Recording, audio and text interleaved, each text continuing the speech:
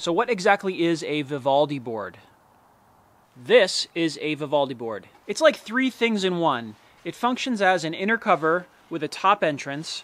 There's a hole in the middle for ventilation and for the bees to come up through. A place to put winter food.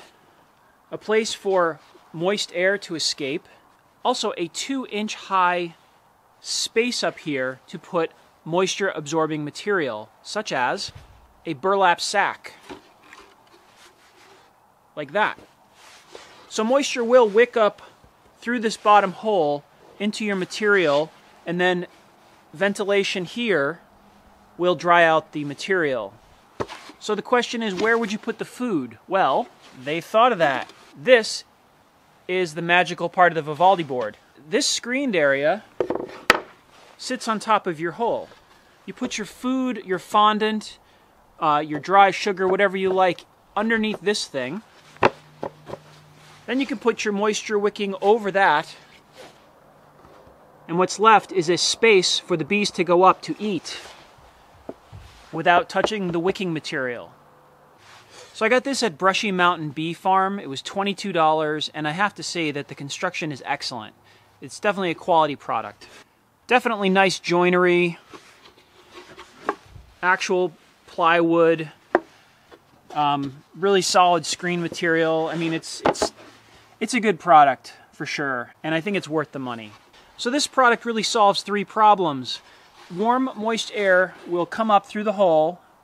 It actually goes into the food that you lay here. So if you have dry sugar or fondant, uh, moist air will come up and uh, keep that moist, which is a good thing. There's ventilation here, so the top is well ventilated. We have a an upper entrance. We have a place to put winter food. So this takes the place of a quilt board, an inner cover, an Imirie shim, um, and a top entrance. So all those things are replaced by this one one product. And I'm really, really happy with this. So let's add some fondant and go put this up on the hive.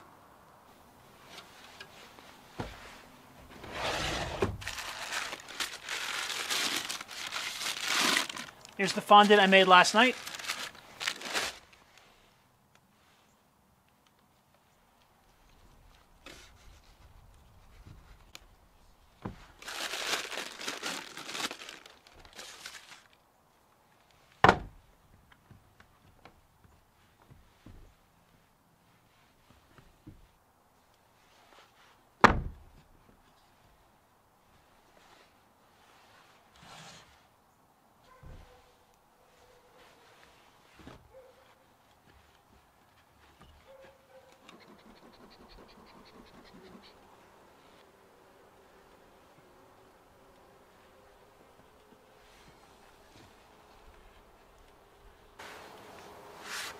So, so this is it. It's an inner cover. We have a front entrance, a top entrance, ventilation, a place to put food, protection here to put your moisture absorbent material on top of this. Warm, moist air will come up through this middle hole here. That will keep the fondant pliable.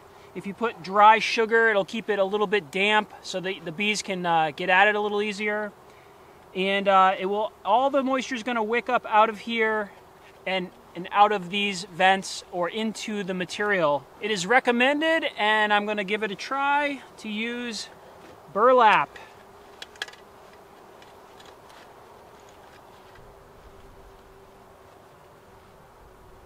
So that's it.